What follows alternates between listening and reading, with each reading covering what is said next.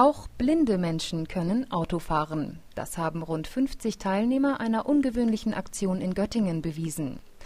Auf dem Gelände einer Spedition durften sie sich hinters Steuer setzen und den Rausch der Geschwindigkeit erleben. Das alles unter Anleitung von Fahrschullehrern in ihren Fahrschulautos. Und der Spitzenreiter bretterte mit stattlichen 110 Stundenkilometern um die Lagerhalle der Spedition. Auch ein Linienbus wurde für die ungewöhnliche Aktion zur Verfügung gestellt. Man könne sich gar nicht vorstellen, welche Kräfte da wirken, war der blinde Peter Schlote aus Göttingen vom Busfahren beeindruckt.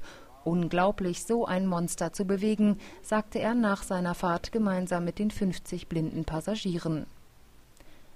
Vor mehr als drei Jahren hatte der Göttinger Treff für sehbehinderte und blinde Menschen zum ersten Mal ein solches Fahrtraining organisiert.